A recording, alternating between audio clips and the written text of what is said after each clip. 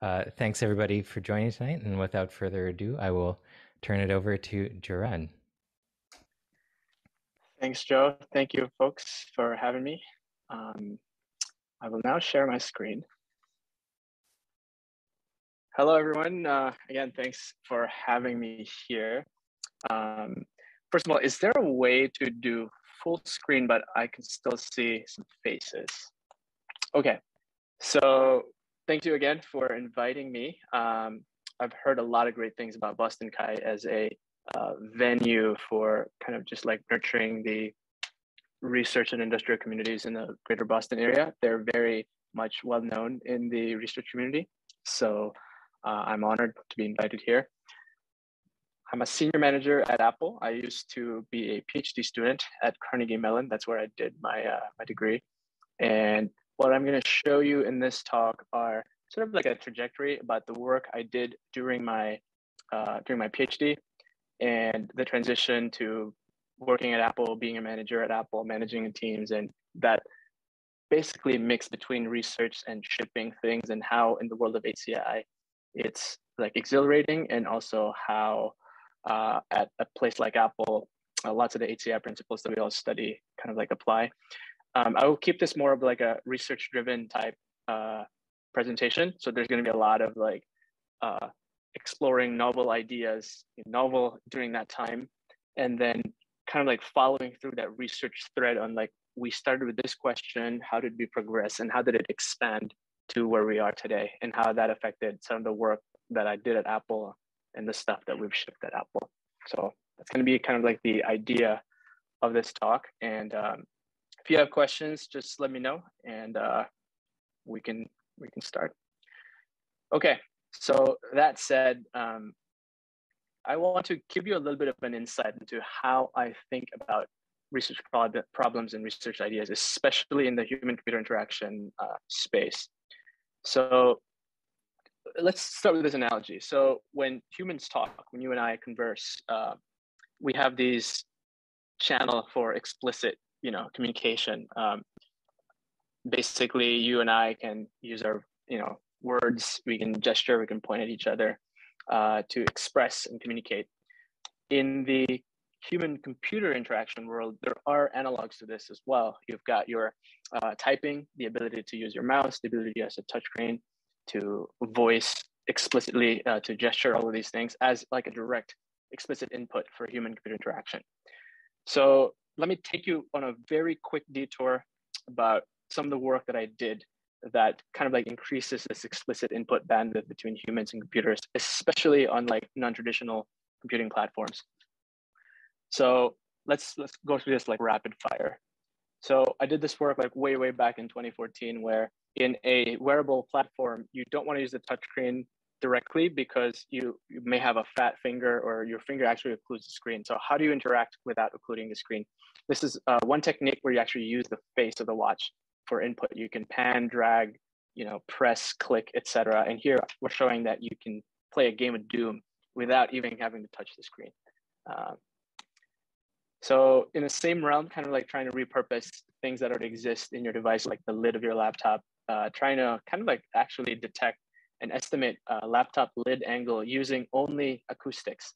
So ultrasound signals, modeling it, and understanding that the reflections of the lid actually affect the acoustic uh, ultrasonic signal being received by the microphone. So without any kind of like crazy hardware, we can estimate, you know, the lid of the uh, laptop angle, and then we could uh, power interactive applications on top of that. Uh, going back to wearables, uh, what if you kind of like project input into this uh, input and, inter- and, and display into your skin instead of the watch? Again, small screen problem, so expand it outside. So here we have like fixed laser icons that you can tap and click that allow you to basically repurpose your, your skin as an input surface. Uh, moving on, so instead of discrete buttons, how about we do tracking continuously on your skin? So here's a cool technique where we use a ring uh, that emits uh, electro, uh, some RF uh, frequencies that's very specific, uh, tuned, and then there's an electrode on your strap, sort of like GPS, but on your skin uh, tracking the phase differential across uh, ac across your skin. And here we can power a continuous input, like playing a game of uh, what is this? Angry Birds. Uh, next, so still in the uh, realm of wearables, uh, using gesture. So we have electric field that we uh, actively bubble up on the around the device, and then the perturbations and, and disturbances of the electric field as you perform your gestures is something we use as input, and then we can detect that and then map uh, different interactions based on top of it. And then lastly, uh, what if you have like LiDAR on a smart speaker underneath? Uh, what can it do? So in this case, it can actually do some crazy things like understand uh, what's around it, also repurpose the area around it for touch and interactions. You could see ideas here borrowed from all the other work, but on kind of like tables and walls and other surfaces. Uh, so that's the idea there. All right, uh, here's another one, one final thing uh, on the watch, but um, kind of like using your a different kind of sensor to kind of like use your arm as an arm 2.0 and generate all these like crazy gestures. And I'll, I'll detail uh, later on how we did this, uh, just so you have some, some idea, but I'll tease this up a little bit here. But this is again, another example of explicit input. Okay, that was very fast, two to three minute rapid fire on that particular thread of increasing explicit input bandwidth for human computer interaction. So let's go back to human-human interaction. It turns out that there is another uh, dimension to this, which is implicit channels. So when humans and humans interact, there is the other implicit channel like body language and gaze and all these other things that allow that channel to be really rich, right? So what is the equivalent of that in human computer interaction? It turns out that that is actually kind of like a weak area for human computer interaction uh, computers don't quite know implicitly uh, some of these other signals. Like you almost have to force and tell the computer, hey, I'm doing this, I'm doing that, I'm doing this, I'm doing that, to power all these other input uh, in very specific ways. So the question I pose here is, how do we actually increase this implicit input bandwidth so that we can enrich human computer interaction? So in this entire talk, it's all about, you know, beefing up this channel. So it turns out that you know once you can do that, you can have like uh, like a a device that maybe knows what your hands are doing without you having to tell it what you're doing, right? A, a, a very of like implicit way of providing input. Um, or if you have like a smart speaker, it like it knows what's happening around it contextually. Um, so wherever you place it, it has an understanding of its context. So what I'm really talking about here when I say like increasing that implicit input channel is devices that know what's happening around them. Um, and in this case, I call that context driven implicit sensing. So you don't have to provide any input to the system at all and doing it automatically. Um, all right. My day-to-day -day life is FaceTime and uh, not Zoom. So very terrible at Zoom. Okay. Looking good, looking good. Looking good. All right. Um, the only problem I hear is I can't see anybody, but I'm just going to imagine your smiling faces every time I move to the next slide. Uh, okay. So we talked about this, right? This is kind of like the the kind of like one instantiation of this idea that I mentioned about uh, increasing that input uh, implicit input bandwidth. So we we should ask ourselves why is that important? And so here's a couple of reasons why I think it's important if we get to solve this problem. So if devices can know what's happening around them, they can be more assistive, helping you kind of like get things done, whether that's doing a recipe or you know making a cabinet. Um, uh, they can be more accommodating. They can help you. They can understand that you are busy, that you are uh, kind of like in non-interruptible. So they will try to like limit notifications or at least understand that, uh, hey, I want to let this user focus more and so i shouldn't interrupt uh, because it looks like he's busy right that would be like a really good outcome if devices know that particular state of the user and then uh, dear, uh, close and dear to the stuff that i've done recently is health and well-being so if devices know of like what types of exercise you're doing or what types of activities that you're doing they can probably nudge you to perform uh, better health habits and help you form uh, better habits that that's that's good for you uh, overall uh, and I'll talk a little bit more about this uh, and how it relates to some of the work I've, I've done at Apple recently. So, you know, just a teaser here. Hand washing project was directly as a result of the research that I did uh, prior to joining Apple. And in addition to that, uh, the a lot of the cycling features that were recently announced in WatchOS 8 was also a result of that. So I'll speak a little bit more about this towards the end of our uh, of this talk. So I've laid out at, at the moment um, what type of problem I'm addressing and why that's important. And so now let's talk about why is this a hard problem? So I'll bring up three things here. One is practicality. In order for you to make this happen, you a lot of people like instrument users with lots of different sensors or lots of different kind of like computing platforms. Uh, and that's fine. You can probably get around to lots of, you know, detecting lots of things with that, but it's not practical. You people need to pay more. People need to wear crazy things. Uh, so it's a challenge. And related to this is the notion of fidelity and semantics. So even if you pick something that's practical, you're not going to get your high fidelity sensor data or high fidelity information to get you to the context that you want to detect. And so also if you want high fidelity, that probably means not practical or you know adding a lot more uh, burden to the computing platform or to the user. And finally, a third angle here is privacy. If you want high fidelity, you have uh, a good chance of uh, needing more than what's required. Therefore, uh, uh, kind of like this tension between fidelity and privacy. So all these three things are actually kind of like orthogonally related to each other, and they play like a tug of war that makes this problem actually quite hard. So the sweet spot here is how do you find something that's practical that has enough fidelity uh, and is also privacy sensitive to allow you to kind of like solve or address the problems and the opportunities that I just mentioned earlier. So, you know, a book of my work, I'm just gonna show here like kind of like the papers that I've done uh, throughout my career so far. And this is a little outdated, but you've got this, but then I also focused, uh, you've got your breadth and you get, then you've got your depth. So a lot of this talk that I'm gonna mention today is this middle purple section, uh, kind of like just going through deeply, how do we try to solve uh, this particular problem? and you know highlighting that was my dissertation.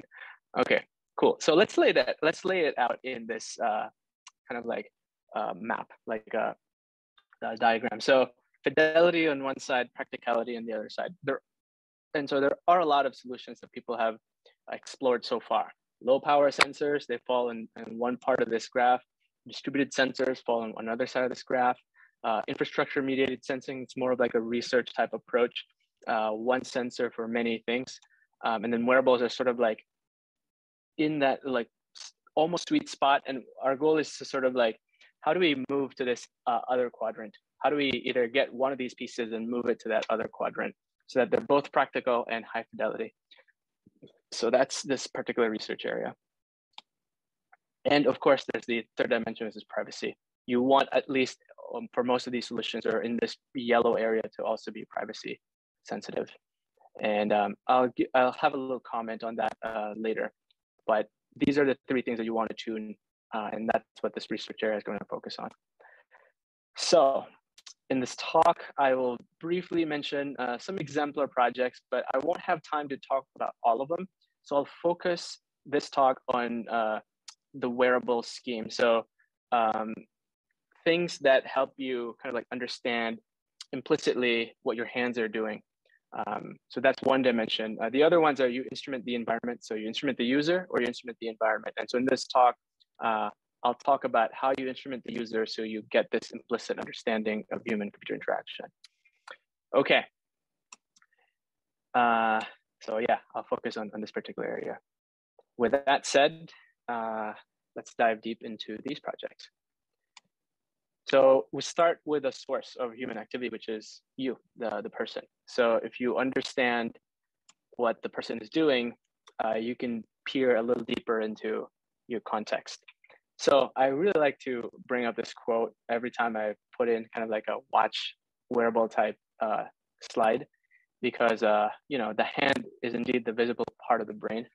So if we understand what your hands are doing, we can probably understand kind of like your habits, uh, your mental state, your propensity to uh, do other things.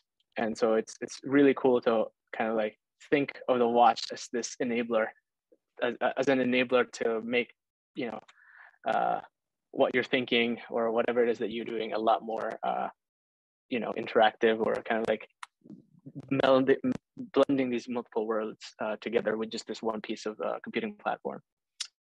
So one thing that we're really good at with our hands is, you know, we do lots of other everyday things, but we also kind of like one thing that defines us as being humans is the tools that we use and the objects that we interact with. And so one dimension here for, for kind of like understanding context is actually what objects you're interacting with is a very good uh, entry point. So how do we do that today? Right now, we sort of like use things like RFIDs, uh, barcode scanners, and things like that to sort of understand the objects around you. Um, but there are limitations to this. Specifically, you know, you need a camera. You're not quite sure whether you're actually truly interacting with the device or just nearby, etc. So the holy grail for this approach is actually like understanding uh, the moment of interaction, now what that object or interaction uh, methods are uh, in a form factor that is practical. So that's the holy grail. So how do we actually get that to work? So I'm going to talk about some approaches that I've done to, to, solve this problem. So one particular method is this idea that your body actually absorbs electromagnetic noise uh, in a, uh, you know, as you go to your day to day.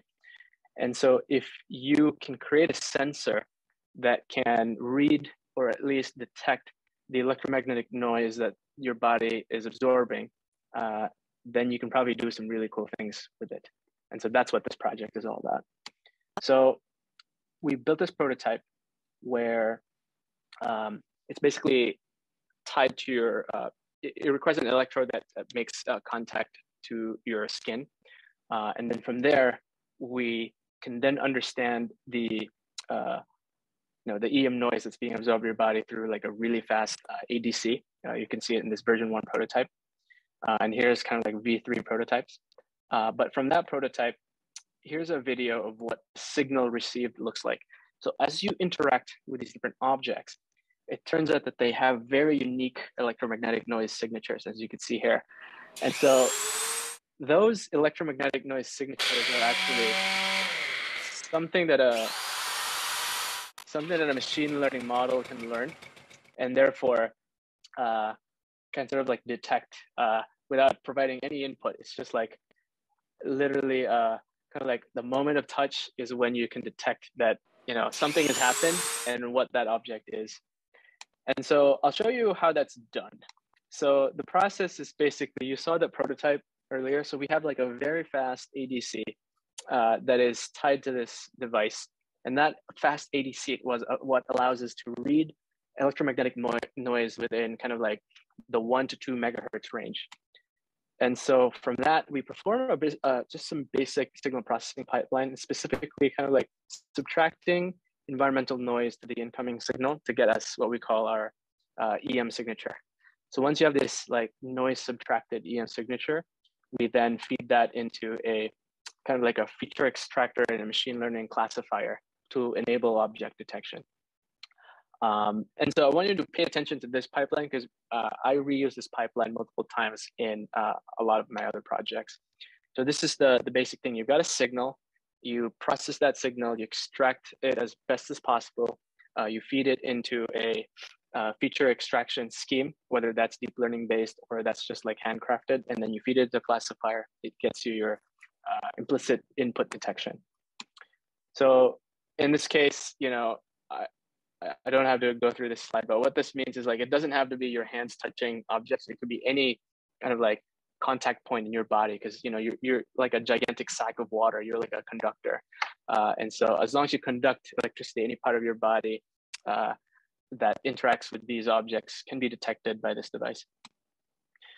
So let me show you kind of like some example applications. Once you have something like this, like why is that important? Why is that relevant?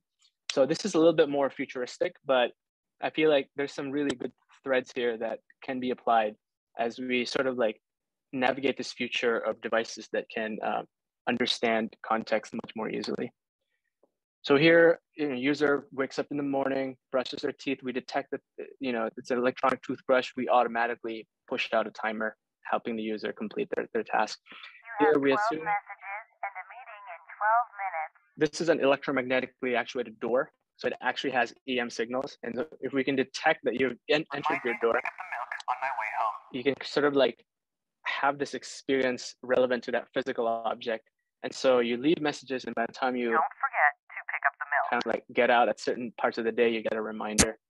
And then we, of course, we can detect your mode of You are transportation. 10 minutes from home. It automatically pops up like a map with a shortcut tied to like your mode of transportation. In this case, you know, avoiding traffic. So these are just examples, but uh, the point here is that by not being very kind of like by by reducing the friction between uh, you know input to the to the device and the context of the user, you have these like really quite interesting uh, application spaces uh, just by this very simple sensor and signal processing pipeline that I've showed here.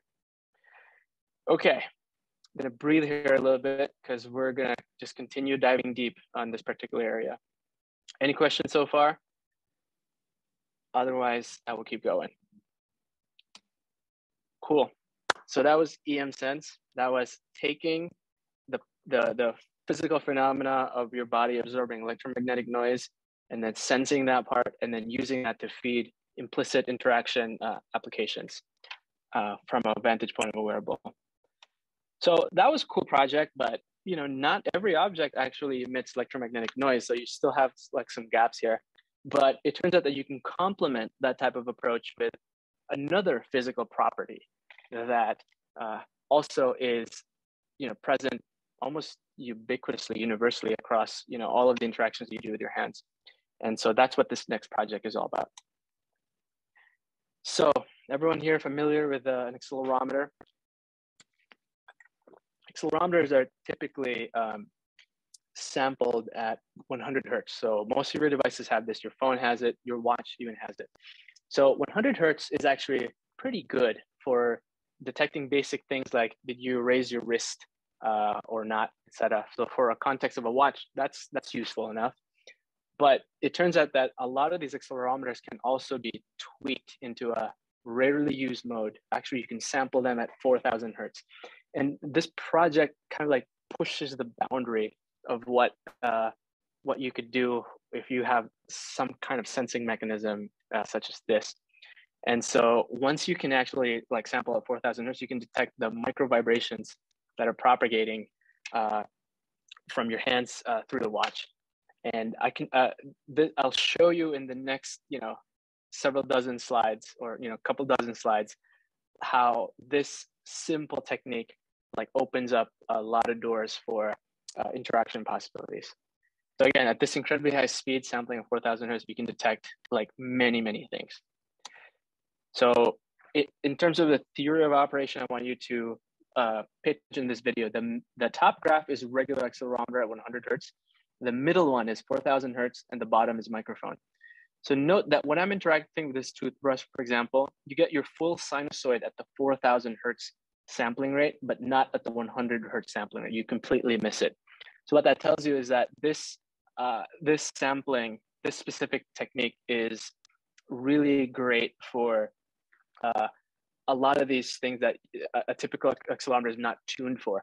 You could also notice that the microphone is just going like crazy all the time, but then um, but then the 4000 hertz accelerometer only picks up the signal at the moment of touch. So I'll repeat that video because it's a very important idea. Um, so when you turn it on, you you see it only when you're touching it, right? And and the microphone theoretically can sense the signal, but it is airborne and it is susceptible to a bunch of different noise. And here, hand is away, so 4000 hertz is blank, but now when you touch it, you see the signal. So that property of untouched detection is, is quite important to make your system more robust, uh, more practical, and uh, less susceptible to noise. So with that setup, let's now go to what you can do with this technology. So there's, I'm gonna show you one, one or two different kind of like big threads. Uh, so let's go through the first one. which is similar and building off, off of EM Sense, uh, again, object detection.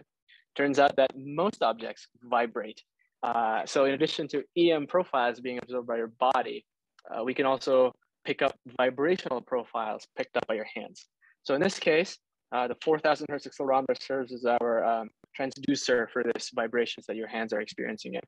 So same pipeline as what you saw earlier. You got your signal, you transform it into a way that maximizes the distinction between all other activities or objects that you're trying to interact with. You apply feature extraction, you feed it into a classifier, it gets to your object detection um, application. So from that, let me show you like the system running in real time. So here are different objects. They're not necessarily electronic, but they have specific vibrational profiles. And it turns out that each vibrational profile is unique to that particular object. So that allows us to detect all these kinds of appliances, all these kinds of tools that your hand is experiencing through these vibrations. So let's let's repeat that. Like a toy car vibrates, a panel saw and the different serrations and gaps. Those are distinctive. Uh, all these things. It's, it's quite amazing, actually, like how many unique things there are. Uh, and you don't think about this every day, but your hands are experiencing quite a lot of vibrations at any given moment.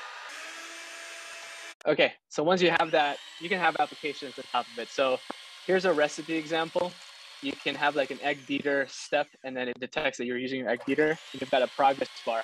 When you stop, it knows that you've stopped and so the progress bar also stops. Here's a, a guitar tuner. It turns out we can pick up the vibrations caused by the, uh, the strings of your guitar.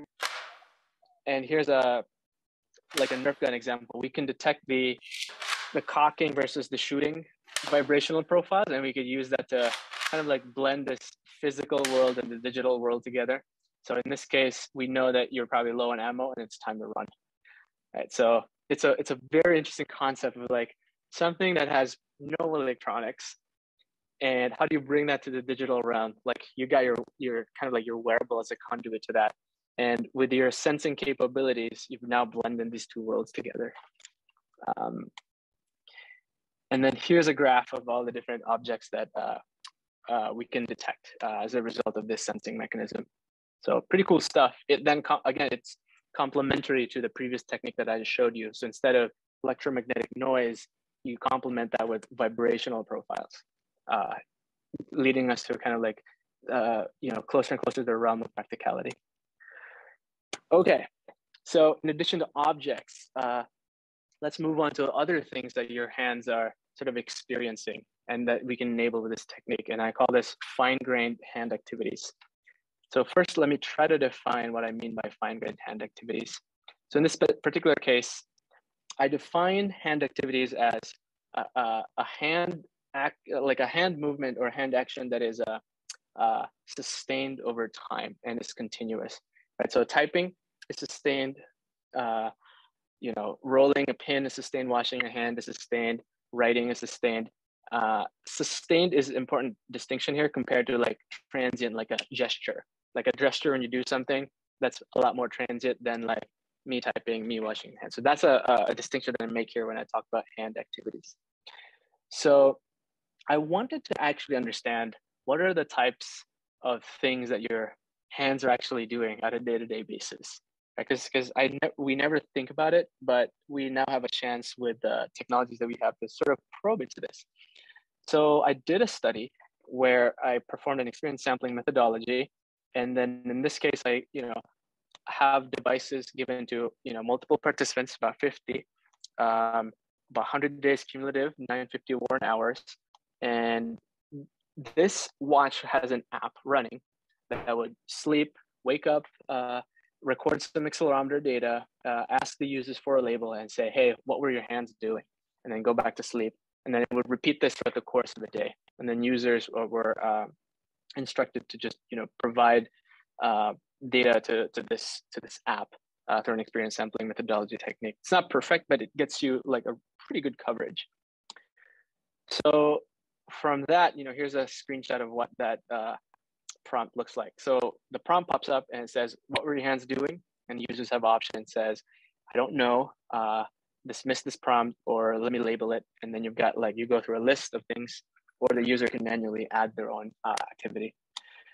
So from this, kind of like after filtering, after removing duplicates, etc., here's kind of like the list of what uh, we think uh, most uh, what most people's hands are doing at a very given moment in time in this particular study. Lots of cool things here, but let's go through the top 10. Just let's zoom in on the top 10 and top 15. Um, no surprise there. The most common hand activity is like doing nothing. Uh, so, you know, that comprised sort of like a big chunk of, of uh, of the data and uh, kind of sad result but like most people are also like either scrolling on their trackpad or their phone or typing on a keyboard. Uh, hopefully that changes but that's that's what it is. Um, and a bunch of other things here that are interesting but uh, another surprising thing is uh, uh smoking made it to the top 15 and also it looks looks like uh, people smoke as frequently as they wash their hands. Um, but in any case uh, these are interesting things to sort of like uh, help us understand okay what are these hand activities that people commonly perform? And are there ways where we can detect some of them like create pick a subset detect some of them and if we can prove that we can detect them we can probably be on our way to at least understanding the types of hand activities that we can power uh, or create experiences around. So that's exactly what we did. Uh, so another kind of like overview of the data here is that you know lots of different edge cases, uh, and in a lot of ways, you know, people are doing lots of things with their hands. So we wanted to pick a few of these, a subset, and see if we can detect them uh, in a multi-class classifier, 30 classes, one classifier, and see how well we do and what can we power based on these um, uh, experiences. Okay, so notice uh, item X here which is washing your hands. And I want you to remember that because that leads into um, uh, some of the aspects, uh, later parts of this talk. So we did a follow-up study from this data. And so from, from this, we then performed an obstacle course uh, where we have an obstacle course of different activities. And then we our users came in and we collected data as they performed through different uh, part portions of the course. And then we use this data to then train uh, a model, and then we sort of try to understand and validate whether we can detect them or not. Um, here's the uh, deep neural network that we uh, proposed, and uh, the design of this is based on this architecture, uh, kind of like a variant of the VGGish architecture. But the interesting bit is uh, instead of like your traditional RGB in an image, we used our XYZ uh, accelerometer spectrogram sampled at the four kilohertz sampling rate. So you almost like get a spectrogram image. You can't really do that if you only sample 100 hertz, but because we sample at 4,000 hertz, we get this rich nuance data as a result. Um, and here are the results. Uh, it turns out that from this uh, particular model with this subset of activities, mean accuracy per user trained was about 95.2%. And if we create a global model with some false positive uh, false, yeah, false object detection mechanisms as well, we can uh, achieve 92% uh, accuracy and an unknown rejection rate of about 86%. So this is a good start. And what this tells us is that we can indeed model some of these hand activities uh, with the sensor data that, that uh, we proposed in this uh, particular project. Um, and then a question that I get asked all the time is, what do you really need 4000 hertz and what is how does the accuracy drop off uh, drop off if you reduce your frequency so it turns out that the higher frequency is always better um, there's a monotonous uh, uh, uh improvement uh, right at 500 hertz. And if you go below 500 hertz uh, the accuracy drops which makes sense. Like people's hands don't move as fast as 500 times per second. Um, but but what that what this tells us is if you uh, kind of like tune to 500 hertz, but then sample at a higher rate, that means you can have a higher fidelity signal uh, in a shorter amount of time. So you don't have to wait too long to fill your uh, your FFT buffer uh, in this particular case. Okay, interesting result there. And if you also plot this in kind of like a t-SNE type visualization, you can see some activities are sort of like related to each other and sort of like verifies that indeed, you know, we're learning something uh, here from from the data. So uh, here's a video of the system in action. So, you know, the model here is running live uh, using the data streamed from the watch. Uh, the watch is on the right hand. Uh, not the left. I'm, I'm wearing two watches here, but the watch that has the sensor is the right hand. Uh, we could detect all these things like clapping, scratching, um, petting a pet, chopping knives, washing utensils, uh, washing your hands, etc. Okay. So before I go into to the Apple work, I want to kind of like just summarize a little bit about what I've shown so far, which was, you know, my goal was to increase this implicit input bandwidth that was lacking in uh, sort of the most human computer interaction uh, work so far. Uh, there's multiple approaches. You can instrument the user, you can instrument the, the, the, environment. In the projects that I've shown you, it's particularly about instrumenting uh, the user. And I've shown you like techniques that hit the goal of practicality, high fidelity, and uh, privacy preservation.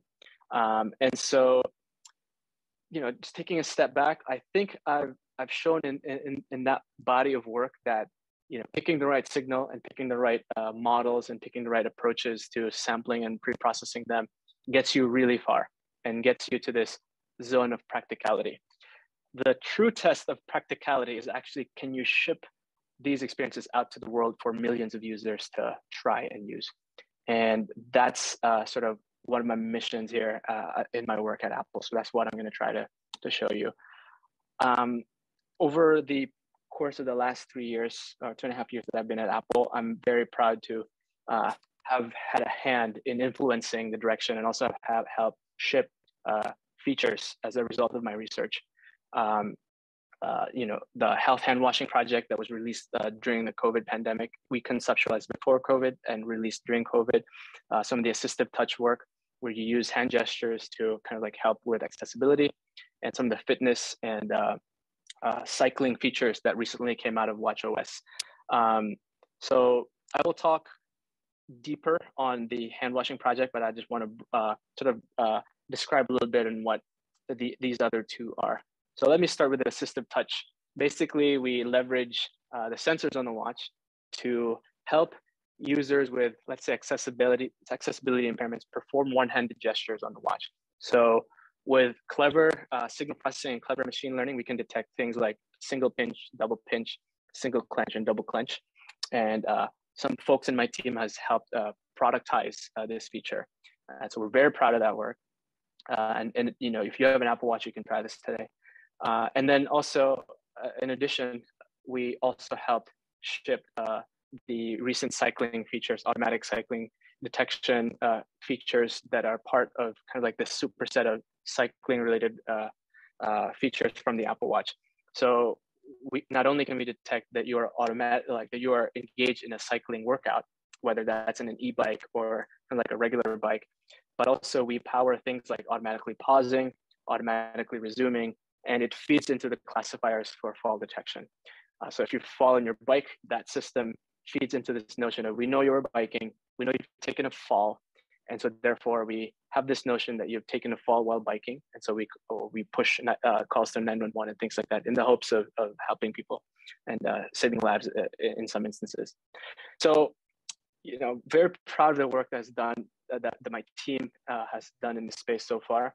But I want to kind of like dive deeper into one of the uh, more relevant projects in this of like time that we're experiencing right now.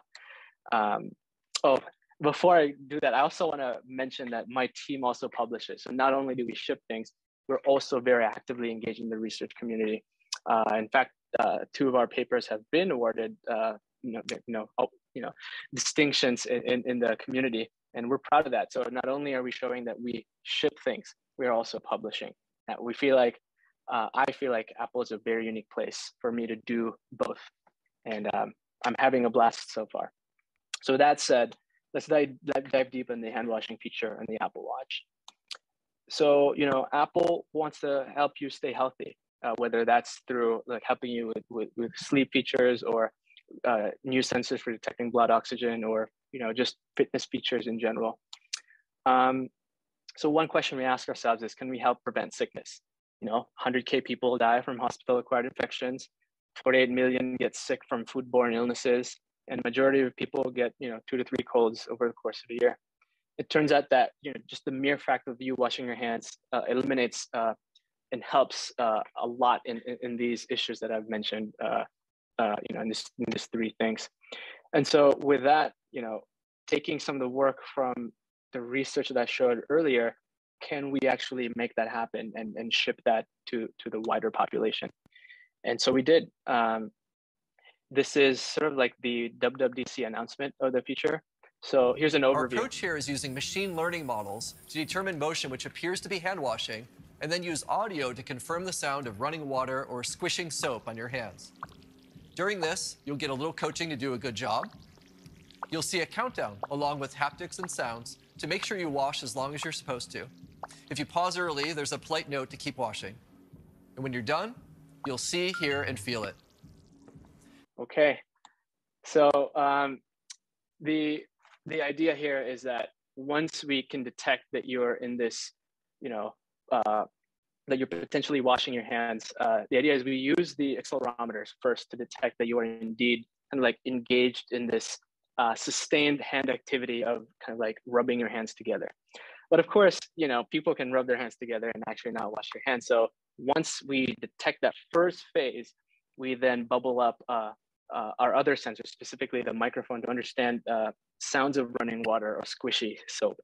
Once we've kind of like tied together this motion, uh, this this motion of hand activity and the acoustic profile of uh, sounds of water and squishy soap, we then bubble up a timer. Uh, and that timer is kind of like tied to our CDC recommendation of 20 seconds. So the timer helps users kind of like go the extra mile of actually hitting that 20 second goal. And uh, it's a pretty cool uh, uh, example of implicit interaction because um, I've we've seen Android apps where the user kind of like washes their hands, opens the app, runs the timer, does its thing, and then kind of like you know gets the timer there. But that there's a lot of friction there, and it's not implicit; it's actually explicit. So here is like it it just magically appears, and it knows what it is that, that you're doing, and then it helps you achieve your goal. The other thing here that we do is we detect that you have arrived home and if you haven't washed your hands in like a window of time prior to uh, after arriving home we then give you a, a kind of like a, a, notification say hey you know you you haven't washed your hands since you're at home so you might you know might want to do that. Right? Okay. So Our- i want to talk a little bit about how we made this happen. So the on-device ml and implementation. So the very first step here is to understand the anatomy of a hand wash so what is the anatomy of a hand wash again, similar to the terminologies I mentioned earlier, it's a sustained hand activity over time. It's not transient, it's sustained. Um, it's a two-handed interaction. Um, and the nice thing about a two-handed interaction is that it doesn't matter where the watch uh, is, whether it's in your dominant hand or non-dominant hand, we can always detect it because it's a two-handed interaction. So that's a really important property. And then finally, there's the presence of water. So all these three things uh, together gets us to kind of like a very good approximation of a hand washing uh, activity. And so from there, you know, you just examine the data. You've got your your your your accelerometer data that can help you detect the motions of scrubbing, your audio data that gets water running, uh, you know, rinsing, and some non-wash non-hand wash activity to help you kind of like distinguish which segment you're in and kind of like how to appropriately increase that uh, increment that timer or decrement uh, that timer in this case. So motion and audio together improves the detection as opposed to just one uh, signal alone. So this is a good example of uh, multimodal sensing to improve uh, practicality and robustness. And you know that that's it. That's how we that's how we made it work. And you know to go from research all the way to shipping to millions of users is an incredible uh, feat of of uh, uh, engineering that I'm very proud of, and I'm very proud of the team that helped ship this. And so it's just one of those examples where you know if you find the right place you can take your research and scale it out to the world and and have like direct impact and we're very proud of that and so with that said i kind of like want to take a step back and sort of like probe into how do you actually design sensing and machine learning systems uh, that has these these sort of like kind of like prototypes uh, of of like a problem set where you feel like oh you know what maybe you can solve this with like good sensing and good machine learning system uh, and you can make it practical uh, and, and ship it and have a more probability of, of, of robustness all throughout. So the idea here is you if you have a way to split your domains into kind of like a low cost domain, uh, like a low power, low battery CPU, uh, versus like a high high uh, cost uh, CPU. And you you it, it could it doesn't have to be CPU. It could be like whatever metric you use for uh, measuring the impact uh, or the constraints that you have. If you could split it and stage your your system to be in this particular way, uh, that will go really far in terms of making a lot of these implicit sensing type techniques work out there in the wild. So there's a couple of things you have to ask yourself. Is your experience always on? Like, do you need to be able to detect uh, that particular thing uh, all the time? And so what that means is, do you need your sensors to run all the time?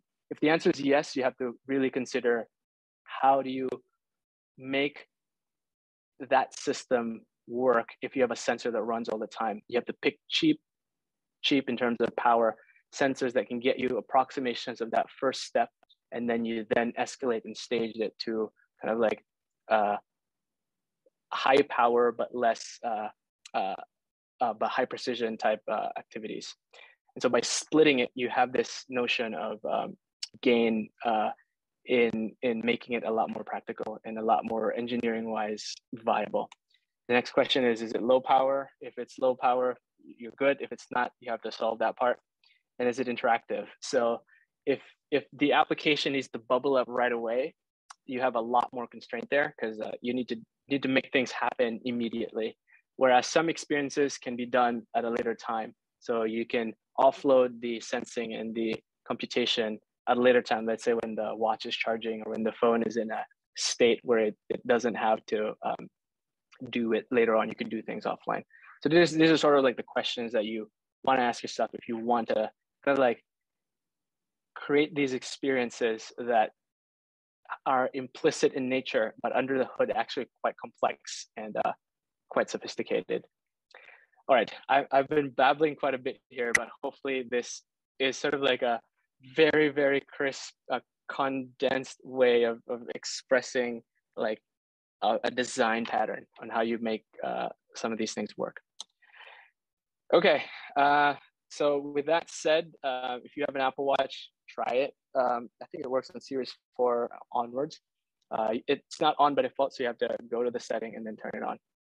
Um, and the public reaction to this feature has been great, um, especially when it came out and the timing of it was pretty good. And one of my proudest moments as a researcher is having my work uh, be kind of like uh, featured in the Daily Show uh, by Trevor Noah with like a one minute segment. I was like, okay, I think uh, I think my uh, you know I've achieved the highest uh, accolade ever for my career. No, just kidding. Uh, but that was a, a super fun time where where they were kind of like just you know expressing how excited and you know they thought that Apple was continuously innovating.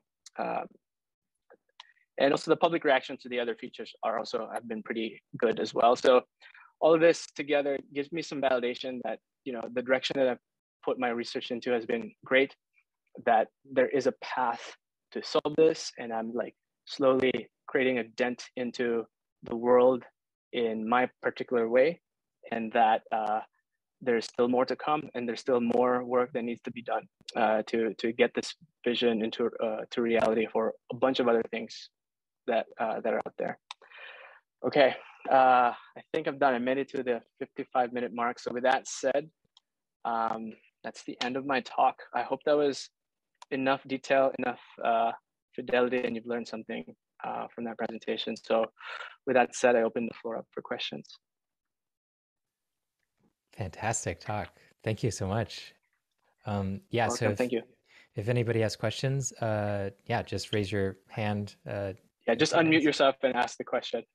Uh, or do that, yeah. um, am I audible? Yes. Yep. Okay, perfect. Yeah, finding the unmute button is hard. Like you said, not being used to Zoom makes it hard to use the tool. But um, I'm very curious because this is this has some parallel with work that I'm currently involved in in activity recognition. What I mean to say by that is you talked a lot about identifying a specific activity happening, asking the user for to label it whether it was right or wrong or um, you know label it differently if they had something else in mind and um, i have two questions related to that activity recognition piece you mentioned one is how do you recognize activities when they're performed serially? As in, let's say in um, a timestamp zero to t, you have um, you know zero to k being activity one, k to t being activity two. How would you know that there were two activities happening and not just one? At what fidelity do you stop and be like, okay, this was activity one, the next piece is activity two? And the second question is, what is the minimum time that you need to ha- uh, you know observe an activity before you say it as an activity so is there a minimum time required i got it so you're basically talking about the segmentation problem yep. um, the answer is you're not like this it depends um, so depending on what you're detecting you need to be you need to understand fully uh, what is the minimum kind of like duration that your system needs to be set up so uh, let's say um, uh, gestures. For gestures, uh, they're pretty quick. They're they're super transient. Like your time window there should be like quick, like one second or less. That should be like your your window size. Um, for something like you know cycling or washing your hands, you can be a little. You, you can go above one second, right? Because if you make an assumption that hand wash is continuous, you could probably do one, two, or three seconds as your as your window. Um, and then for cycling, I mean, if the user is cycling, that could be longer, right? So you can use time to your advantage in this particular case. And then in terms of like, how do you know that activity A happened and then activity B followed, and then something in between happen? How do you make that segmentation? So in any classifier that you do, you should always have, if you can, uh, a null state. So null state is you knowing all the other activities out there that is not in your class and that's very important because if you don't have that your class you can't really trust your classifiers to tell you that you know this is a this is b and if they have they haven't seen something they're going to say oh i think it's a or i think it's b and they're not going to be super confident but if you have this kind of like good data set of your negative set that goes a long way thanks that really... uh, ryan yep ryan has a question yeah, thanks. Um, great talk. Really cool stuff. Uh, I'm curious how, if you have any example of how you've dealt with either identifying or then dealing with bias with with all the different um, actions you're trying to detect. Obviously, you have there's a lot of cultural bias or environmental bias that you might have based on, let's say, studying this just in California on a certain group of people and you're not going to get a full picture of what it's like. For example, water might sound different in different faucets in different places in the world. So, yep. any any examples of how you dealt with that kind of bias? Right. So, um, I think if you if you set yourself up in the beginning where you sort of like bubble that up uh, into your consciousness and say, hey, uh, let's have a checklist or like a scorecard or, or whatever when we try to look at our data set make sure we have representation into the population that we're interested in um, that's one way you do it at the, at the beginning. The other way is a little more reactive where um, not reactive i'd say iterative where you you start your model with a small pool of people because you want to you know get the ground up and running as fast as you want as you can and then you slowly increase your pool. Um, and that increases in, in pool. As you increase your pool, you then ask yourself, okay, when we increase our pool, uh, we should make it diverse and, and, and can we make sure that we address this, this, this, uh, this. And then you increase your pool and then you see how well your model performs. You take notes, collect data, improve the model, and then increase your pool again and then just repeat the process. So very like HCI centric, like iterative, like design. And, and if you are careful in every kind of like expansion transition, uh, in terms of making sure your data set is diverse, then I think you're in a good structural path there for data diversity. And of course, the literature also has different like strategies on how to make sure your data is not biased. Hmm. I, I do have a second quick question, which is just when you're talking about uh, identifying a single action or something, and then you want to uh, know all the other possible actions and make sure you're not identifying, you know, something else that's similar. Um, how do you deal with when you're gathering that data? I noticed you had a really big chart of all these different hand motions. There was one hand motion that might be more private, that might not be included in said chart. Um, how do you deal with like that kind of thing where you're trying to obviously you want to know these things exist, these hand motions exist, but you don't want to falsely have people logging it in the wrong place or due to concerns for their own privacy, you might uh, kind of in, infect your data with some false uh, positives or negatives because of that. Is that something you dealt right. with at all with this research or? Yeah, so you can't like you can't possibly collect data for everything. Like there's just no way. Hmm. Um, mm. So you try you, you try your best. Um, uh, there are ways where you can augment your data to help you sort of like synthesize like fake but relevant data to help increase your coverage.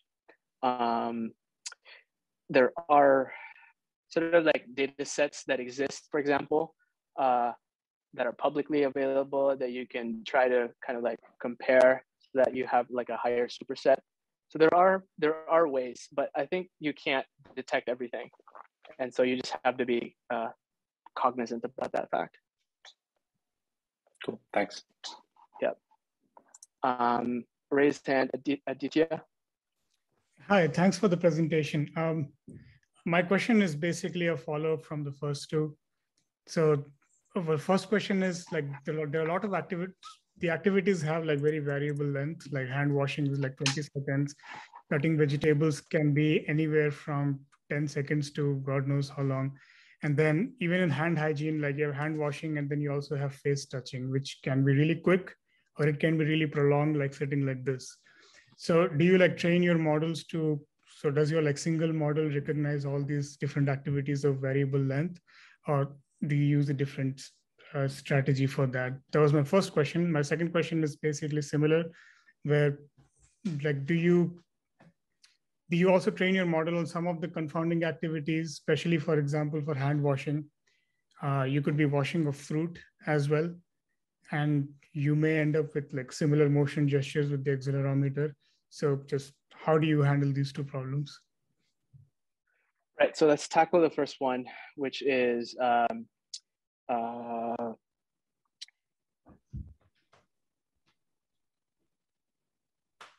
I think if you want to have like lots of activities compounding on each other, uh, there's a real-time decision that you have to make whether a single classifier can do the job or if you want to break it off into different classifiers in multiple stages. There's no, nothing stopping you from doing one to rule them all. There's also nothing stopping you from staging them. Uh, in fact, there's pros and cons. Um, so my experience so far, my personal philosophy is to pick the simplest possible solution and not try to try to solve everything.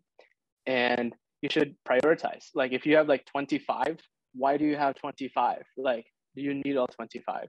Right? Just pick your top one, two, three, use the rest as your negative data set, and then have that as your as your model. Um, so that's kind of like the the, the generic advice there. Um, and then in terms of um, um, like the false positives, uh, in any detection system, you're never going to get perfect precision and perfect recall. You always there's always going to be a sacrifice between uh, being able to detect more and being able to tolerate false positives.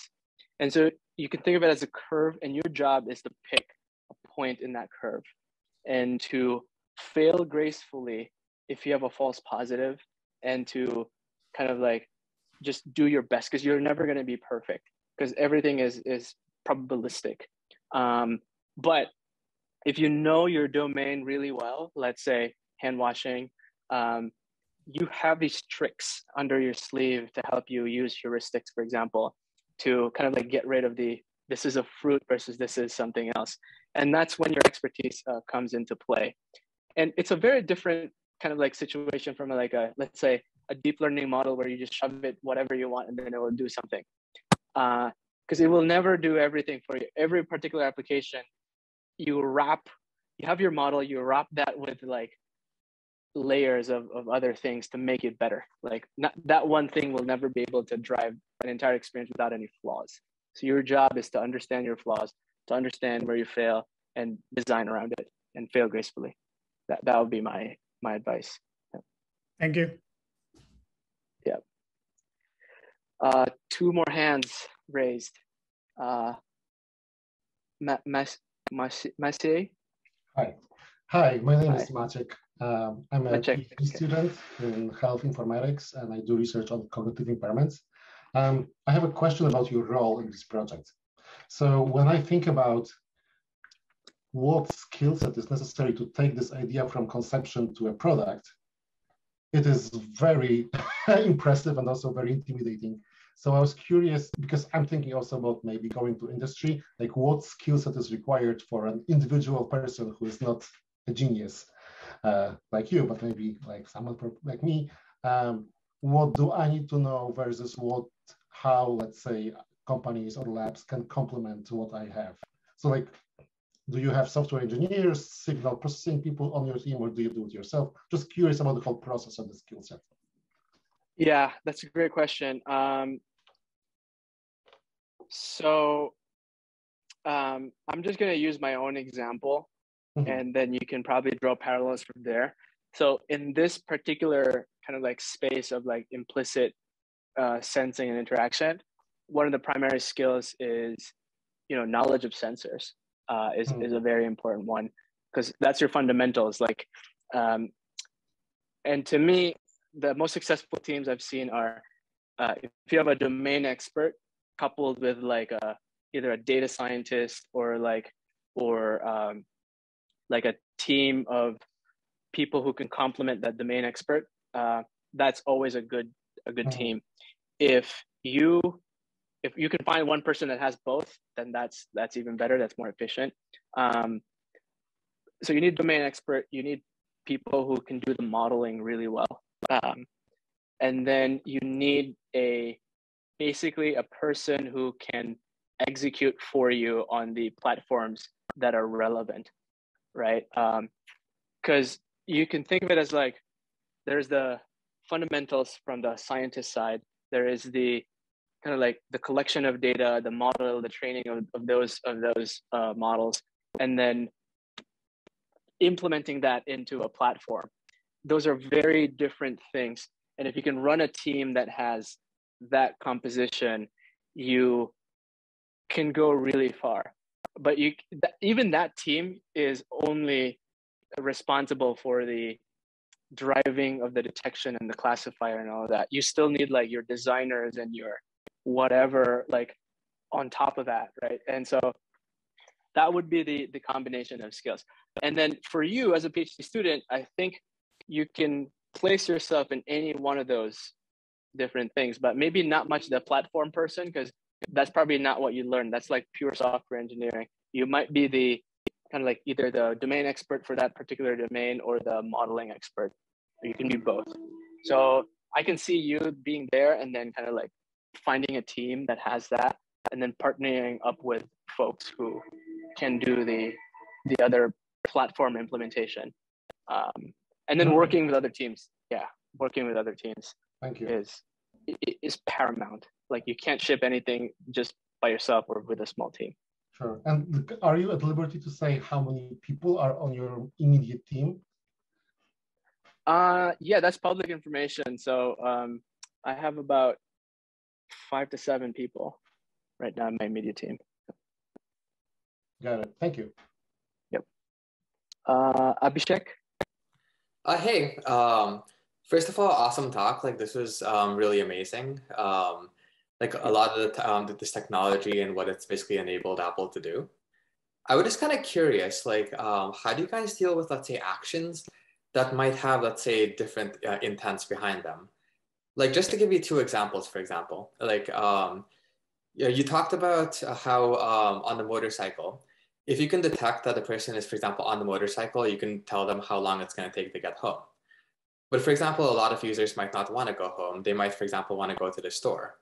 Or alternatively, for example, let's say um, in the hand washing case, like you can detect, for example, a person uh, is washing their hands under the sink, but essentially like uh, it might be, for example, because they have a cut and they're basically trying to um, stop the bleeding as opposed to because they're trying to clean their hands. So I wasn't sure if like if you have given any thoughts let's say actions that might be taken um, that can be detected, but which might not have the I guess common intent behind them. Right. So let me qualify by saying um, I'm not speaking on behalf of, of, Apple when I answer your question here, because uh, you know Apple has a very particular stance on what counts as a really great user experience. Um, and so in the videos that you show that you've seen, let's say the driving a motorcycle, that was me as a PhD student, kind of like showing what's possible, right? Yeah. Um, so th- those are two different things. I want to make a distinction that what Apple decides as a as a as user experience is not up to one particular individual. It's like you know, uh, there's an Apple taste to, to all these things. Uh, so with that said, um, if I was to design a system to make sure to account into kind of like false intent, um, you should have a way as like a exit gate or like a, a way to exit out in case you predicted wrong, right?